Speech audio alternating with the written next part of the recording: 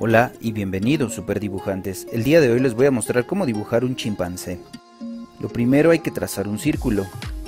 Después vamos a dibujar una línea curva del lado derecho. Después dibujaremos otra línea semicurva en la parte de arriba. Está por encima de la mitad del círculo. Después, en la parte lateral derecha vamos a dibujar otro pequeño círculo. Este círculo lo vamos a partir por la mitad pero siguiendo la línea curva que trazamos a la derecha, ¿ya vieron? Después dibujaremos otra línea encima y en esta línea de encima vamos a trazar estas pepitas y le dibujamos estas S, ¿ya vieron? Pero chuecas. Después vamos a utilizar como guía la línea que trazamos a la mitad y vamos a dibujar estas dos pequeñas líneas, como si fuera un pequeño rectángulo muy delgado. Después vamos a remarcar las líneas curvas de abajo, esta pequeña línea de arriba y vamos a trazar esta M en la parte superior para trazar lo que sería la parte de arriba de su cara donde comienza su pelaje. Dibujamos esta otra línea en la lateral del lado izquierdo. Unimos por debajo de la línea que habíamos trazado. Después vamos a dibujar este segmento de círculo o letra C para trazar sus orejas. Dibujamos otra curva en el lado derecho marcamos otra línea curva dentro de la curva que ya habíamos dibujado. Trazamos estas pequeñas líneas curvas para marcar el interior de su oreja de su oído. Después podríamos trazar estas líneas que nos van a ayudar a definir hasta dónde llegaría el cabello de nuestro chimpancé. Igual trazamos estas pequeñas curvas para definir hasta dónde quedaría su cabeza Después vamos a trazar esta pequeña línea curva del lado izquierdo. Podemos agregar igual estas marquitas, estas líneas para el pelaje. Después dibujaremos esta otra pequeña línea del lado derecho y otra en la parte inferior. Dibujamos esta línea diagonal con esa pequeña curva. En la parte derecha tenemos el cuerpo de nuestro chimpancé. Podemos agregar estas pequeñas líneas únicamente para marcar en qué posición quedaría el peinado, por así decirlo, de nuestro pelaje, del pelaje. Después vamos a trazar estas pequeñas líneas para marcar dos círculos al centro de cada línea. En el caso del círculo del lado izquierdo lo voy a mover hacia la derecha. Después trazamos estas curvas en la parte central como si estuviéramos dibujando una pequeña curva, si fueran letras C, pero chuecas. Trazamos estas pequeñas líneas para marcar hasta dónde llegaría el entrecejo. Volvemos a marcar los círculos que había borrado porque sentí que estaba muy lleno de trazos mi dibujo. Lo que hacemos es aplanar la parte de arriba del círculo. Esta pequeña línea más plana, ¿ya vieron? Y remarcamos la parte inferior, la curva que está en la parte inferior. Dibujamos esta pequeña elipse dentro de los ojos, del lado izquierdo y del lado derecho. Van a ser los brillos. Después dibujamos el segmento de un círculo al centro, sería la pupila. Y podríamos hacer estas pequeñas líneas curvas o marcas para definir los párpados de nuestro chimpancé. Otras líneas son opcionales para ir marcando más o menos en dónde quedarían los pliegues en su rostro. Y estas líneas sí del lado derecho para marcar hasta dónde llegarían sus cabellos. Y ahora lo que tenemos que hacer es borrar las líneas para comenzar a pintar, a colorear. Para comenzar a colorear lo que voy a utilizar es un tono rosado, tono rosa, y lo voy a agregar suavemente sobre su piel, sobre el color de su piel. Noten que me alejo de la punta para que el color quede más separado, para que queden esos poros, esos espacios del tono de color de la hoja. Hacemos lo mismo con esta parte de su brazo. Vean que quedan huequitos en blanco, ¿sale? Ahorita no se trata de rellenar completamente la hoja, sino de dejar esos espacios.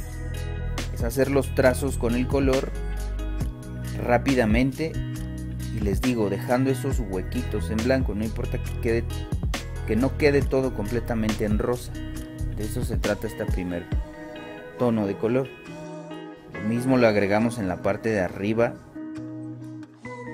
Lo que sería la parte superior de sus ojos lo vamos a dejar igual en blanco. La parte inferior también de la boca. Lo que sería su mentón, si se le puede llamar así, hasta abajo, lo vamos a dejar en blanco. Ya que agregamos ese primer tono, ahora lo que voy a hacer es remarcar o colorear con un color más oscuro. La gama de colores se las dejo en la caja de la descripción. Lo que hacemos es agregarlo en las zonas donde vamos a querer que quede oscuro, pero de la misma forma en que agregamos el rosa, dejando algunos huequitos. Ahora esos huequitos ya no van a ser completamente blancos, sino también van a tener un tono rosado. Poco a poco lo vamos agregando. Les recuerdo, si queremos hacer este tipo de coloreado, nos alejamos de la punta para que nuestros trazos sean más débiles, más suaves. Si quiero generar un poco de mayor oscuridad, me acerco a la punta. Agregamos estas pequeñas sombras en la parte derecha del párpado del ojo izquierdo. Remarcamos las líneas de sus arrugas en la parte inferior del ojo. Pero ya vieron, estoy dejando algunos espacios, ya vieron algunos huequitos.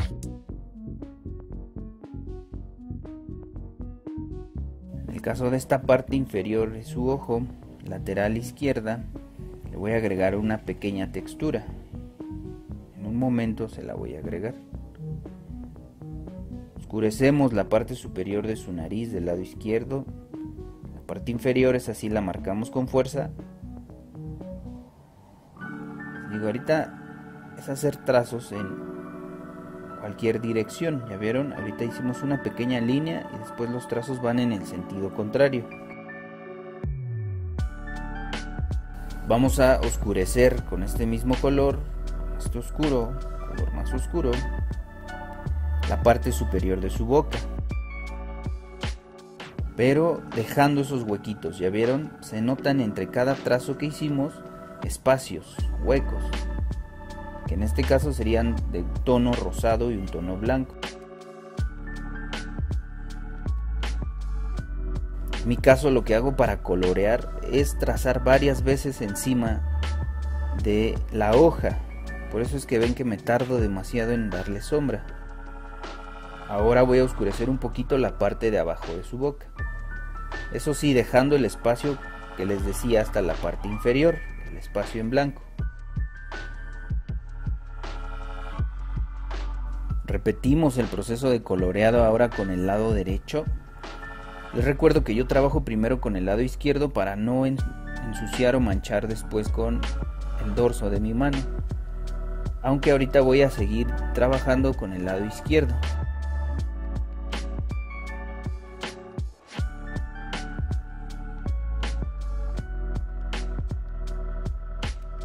Esta es la textura que les había comentado, es como si estuviera agregando pequeños trozos de piedra, uno pegadito al otro.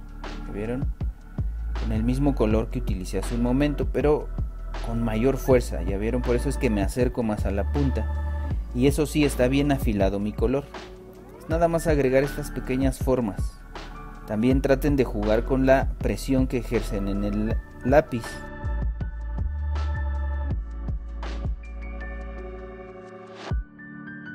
Entonces ahora con este tono, pues como morado oscuro, le vamos a agregar otro tono de sombra en la parte inferior de su ojo o en la parte superior de su ojo, en la textura que hicimos en su cara, en la lateral izquierda y en algunas de sus arrugas. Le vamos a agregar estos pequeños puntos también en la parte superior de su boca.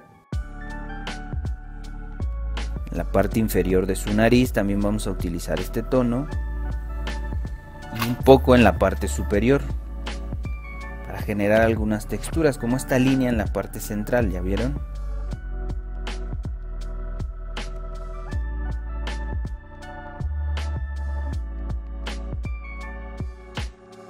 Ahora voy a tomar un tono azul y lo que voy a hacer es agregarlo igual encima de la piel de nuestro simio. Por lo regular lo estoy agregando en las zonas en las que está más oscuro, por así decirlo sería la parte lateral izquierda superior de su labio y en la parte de su rostro del lado izquierdo. lo trazamos o hacemos este trazo de la misma manera que lo hicimos con los otros colores. Alejado de la punta para que sea suave y separando las líneas para que no quede completamente marcado el color, si no se mezcle con los otros tonos que habíamos agregado. Igual lo vamos a colocar en el oído, en la parte interna de su oreja, en la parte superior de su nariz también le vamos a agregar este azul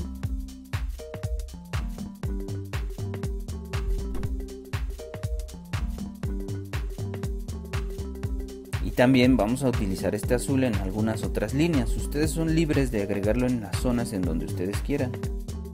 Después voy a tomar un color piel y lo que voy a hacer es agregarlo en la parte superior de su boca. De hecho, casi en la mayoría de todo el rostro lo voy a agregar. Dejando algunos huequitos en blanco, ¿sale? O bueno, no serían tan en blanco porque ya le agregamos otros tonos en la parte de abajo. Entonces agregamos este tono piel por ejemplo en la parte lateral derecha perdón, de su cara, de su rostro, la parte de arriba del ojo y en las orejas. Este color ya se está agregando con un poquito de mayor fuerza, ya no es tan suave como los otros colores, es un poquito, con una intensidad media por así decirlo.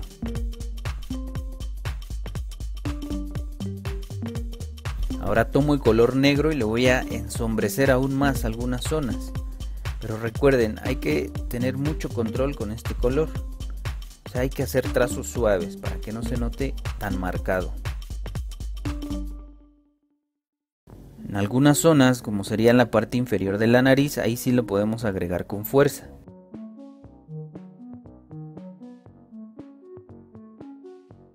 Este sigue siendo el color negro para agregarle un poquito de mayor profundidad a la parte lateral izquierda en su cara.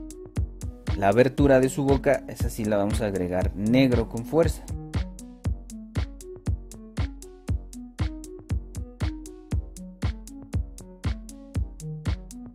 Para su ojo lo que vamos a hacer es agregarle café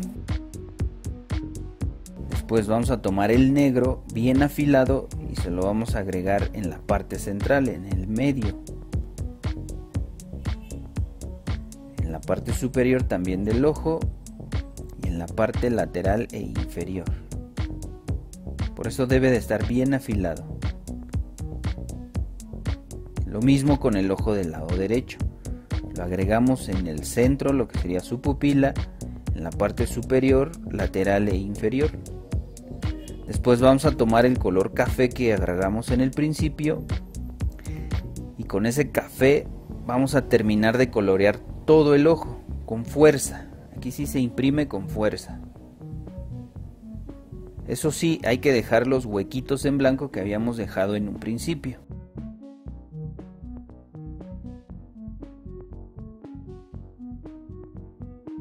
Ahora tomo un color rojo y se lo voy a agregar en la parte, en algunas zonas en su piel, se vea un poquito más cálido.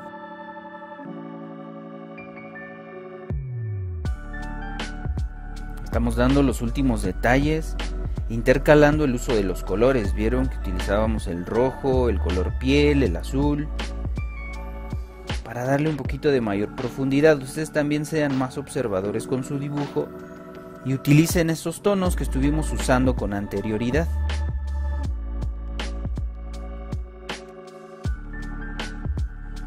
Les digo, estamos utilizando los mismos colores, ¿sale? El café oscuro, el morado oscuro, el blackberry, ¿cómo es? Raspberry black, qué nombres, caramba. El negro, el piel, el rosa, el azul, el rojo, por ejemplo, ahorita estoy pasando varias veces este tono café en la parte lateral izquierda e inferior de su boca para oscurecer un poquito más esta zona. Lo mismo para la parte lateral izquierda de su nariz o en la parte superior. Lo que quiero es que se oscurezca un poquito más, que se note más que aquí es piel. Ustedes pueden hacer exactamente lo mismo, observar en dónde les faltaría color y agregarlo.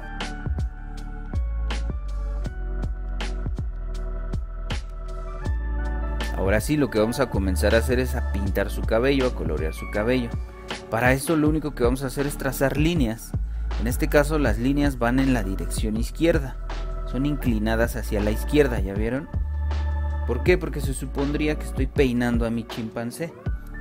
Entonces por eso es que todas estas líneas que están del lado izquierdo las voy a trazar en esa dirección. Lo mismo para lo que sería la raíz de su cabello o la parte central o del medio.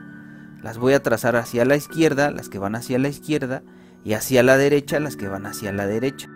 Ahora sí es controlar los trazos que estamos haciendo. Ya no es como al principio que los podíamos hacer en cualquier dirección. Aquí sí ya es como si estuviéramos peinando a nuestro chimpancé. Vamos a trazar las líneas, le digo, hacia el lado izquierdo y las líneas que están del lado derecho hacia el lado derecho o el cabello que está del lado derecho. Vieron lo mismo en su espalda y brazo. Vamos a trazar las líneas hacia el lado izquierdo. Pequeñas líneas, ¿ya vieron? Se notan. Que después las vamos a rellenar. Lo mismo para el cabello los pelos que tienen la parte inferior.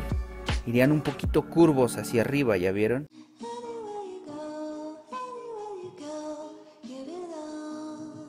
la parte inferior de su cabeza, ya vieron, en esta zona le estoy agregando el negro con mucha fuerza para que se note la separación, que ahí termina la cabeza y que comienza su cuerpo, que sería la cabeza toda esa oscuridad es la sombra que produce su cabeza.